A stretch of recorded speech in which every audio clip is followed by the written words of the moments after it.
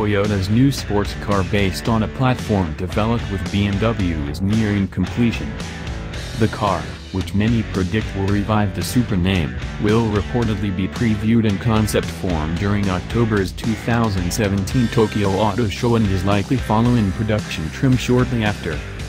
We already brought you a number of spy shots but the Supra MKV forum has some renderings that enable us to look past the heavy camouflage gear of the prototypes and glimpse at the final design.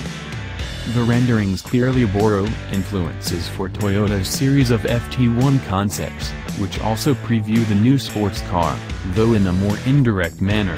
Among the cues taken from the concept are the designs for the lights, protruding nose and surface details, no doubt Toyota will have a few surprises in store for the design as well.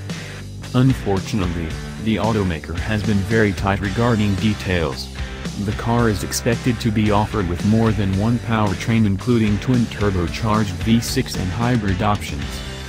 We've also heard that it will be built alongside its BMW counterpart, the Z4 replacement, at independent vehicle manufacturer Magna Steyr's plant located in Graz. Austria.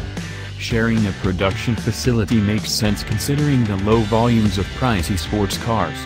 Speaking of price, we've also heard that the Toyota sports car will cost more than a Corvette, though hopefully this is only for the more potent powertrain options.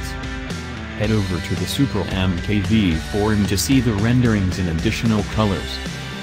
Toyota's new sports car based on a platform developed with BMW is nearing completion.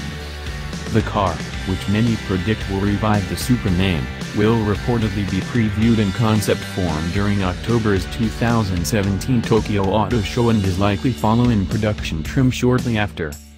We already brought you a number of spy shots but the Supra MKV forum has some renderings that enable us to look past the heavy camouflage gear of the prototypes and glimpse at the final design.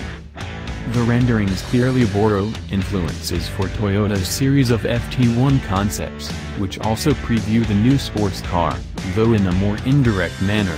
Among the cues taken from the concept are the designs for the lights, protruding nose and surface details.